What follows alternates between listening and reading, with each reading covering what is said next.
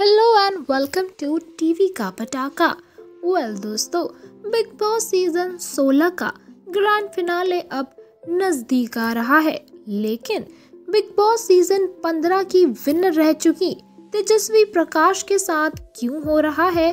लगातार प्रियंका का comparison well दोस्तों, प्रियंका और तेजस्वी के फैंस के बीच में क्यों हो रही है? सबसे बड़ी जंग क्यों कर रहे हैं? लगातार दोनों अलग अलग सीज़न की इस ट्रॉफी की दमदार दावेदारों को कंपेयर एक जो बिग बॉस 15 की विनर रह चुकी है, यानी कि तेजस्वी प्रकाश, और दूसरी बिग बॉस 16 की सबसे दमदार स्ट्रॉन्ग पर्सनालिटी प्रियंका चाहर चौधरी, जो कि बिग बॉस सीज़न 16 की ट्रॉफी की तरफ़ अपने कदम बढ़ाती जा रही है। फैंस क्यों सोशल मीडिया पर जंग कर रहे हैं? क्यों लगातार हो रहा है इन दोनों के बीच कंपैरिजन बताएँगे आपको सब कुछ पूरे विस्तार से। But before that do not forget to subscribe TV का पटाखा। वेल well, दोस्तों आपको बता दें कि बिग बॉस 15 की विनर तेजस्वी प्रकाश को लगातार लंबे समय तक फैंस की जहाँ वाहवाही मिली थी तो वहीं उन्हें ट्रोलिंग का सामना भी करना पड़ा था।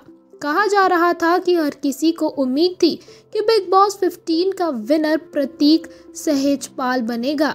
लेकिन लेकिन जब एकता कपूर ने तेजस्वी प्रकाश को नागिन छः ऑफ़र कर दिया तो ये बात साफ़ हो गई कि अब एकता की नागिन ही बिग बॉस 15 की विनर बनेगी और इसीलिए फैंस को ये सब कुछ स्क्रिप्टेड लगा और काफ़ी ज़्यादा तेजस्वी प्रकाश की ट्रोलिंग होने लगी।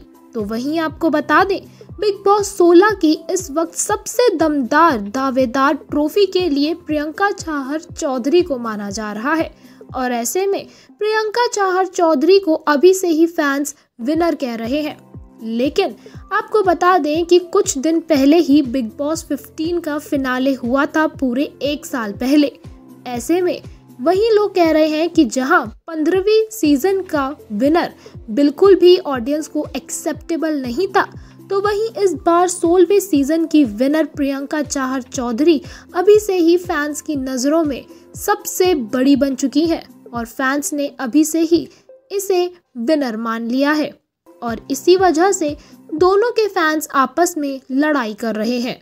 आप क्या कहेंगे? हमें अपने व्यूज़ कमेंट करके ज़रूर बताएँ। वीडियो को लाइक और शेयर कर